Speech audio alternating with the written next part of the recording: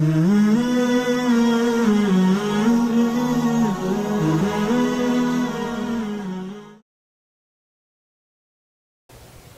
what he asked him to do. So Rasulullah sallallahu alaihi wasallam said, أقلكن مهور أكثركن بركة. Like less mahar you have, that means more barakah you have. So when you marry someone, if she asks for mahar, if her mahar is a dollar or twenty dollar or a hundred dollar or or a ring only or uh, a surah from the Quran, because the female sahabiyat at Prophet's time wasallam, their mahar used to be a surah from the Quran. Read Surah Al, memorize Surah Al-Fatiha for me. Uh, memorize Surah Al-Kafirun for me. This is my mahar. And then go be your wife. You see? So less mahar, more barakah. That means more mahar, less barakah. So that's why we see, unfortunately, now it's very hard for people to get married. All right, this, let's speak honest about this. People they talk, talk to the people. See, they, some people they come say, I want a husband, or so and so. Okay, we'll send someone, and then this person will come back. It didn't work. Why? Or mm, they want so and so. Okay, and then talk to back. Yeah, it has to be. It has to be in a banquet hall. Has to be so and so, and has to be like some cultures. When you get married, you have to do four or five parties. Like this is too much. You see, who's going to pay for all this? Why didn't save this money for them? What is better, to make people happy or to make these couples happy? Why you spend like 20,000, 30,000? Let them buy a house for this money. Let them just do business something for why why where these came from. We have to understand, we have to separate between the culture and deen. And that's our problem. The culture became above our deen. So people they take culture first and then deen second. This is wrong.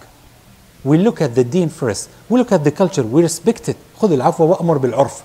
If the culture matches our deen, we'll put it on our head.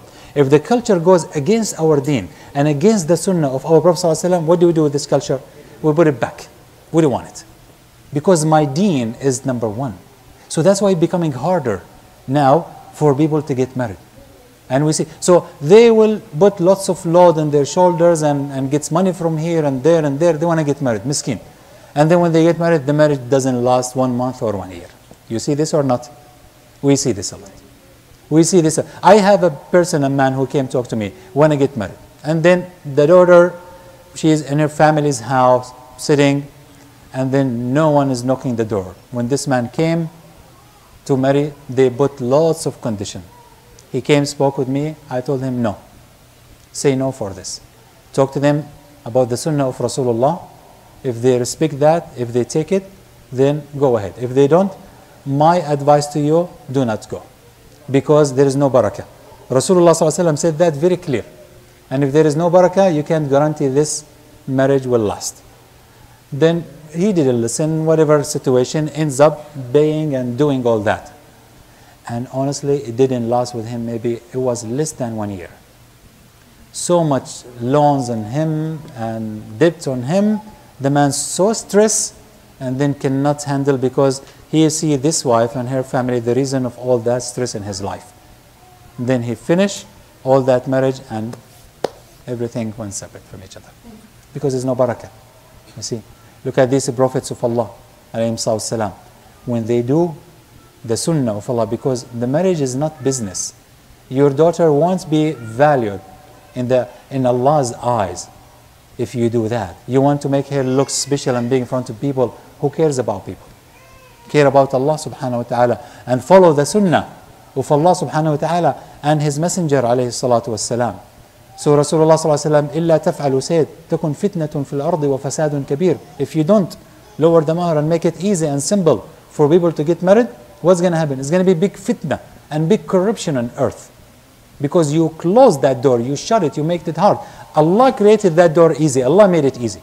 Why are you making it hard for yourself? That means you block the door of Allah and you're opening wide the door of shaitan. You left no choice. Who is responsible for that? The whole ummah. You see?